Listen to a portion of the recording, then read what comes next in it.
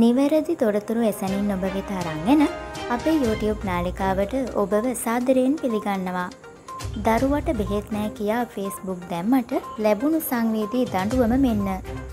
ඖෂධ හිඟේ හේතුවෙන් තම දරුවාට ඖෂධ ලබාදීමට නොහැකිවීම හේතුවෙන් වත්මන් පාලනයට එරෙහිව මුහුණු පොතේ සටහනක් තැබූ බව කියන අඹු සැමි යුවලකට එල්ල වූ මැර ප්‍රහාරයක් හේතුවෙන් එම අඹු සැමි යුවල රෝහල්ගත කර ඇති බව කිරිඳිවැල පොලිසිය පවසයි.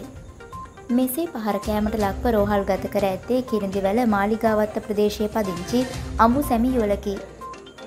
පහරකෑමට ලක් වූ අඹු සැමි යුවල සිය දරුවාට ඖෂධ ලබා ගැනීම සඳහා නගරයට ගොස් නැවත නිවසට පැමිණි අවස්ථාවේ පාර්ලිමේන්තු මන්ත්‍රී මිලාන් ජයතිලක මහතාගේ බාල සහෝදරයා සහ තවත් පුද්ගලයෙකු අඹුසැමි යුවලගේ නිවසට පැමිණ මෙසේ පහර දුන් බවට පහරකෑමට ලක් වූ අඹුසැමි යුවල පැමිණිලි කර ඇති බව කිරිඳිවැල පොලිසිය පවසයි.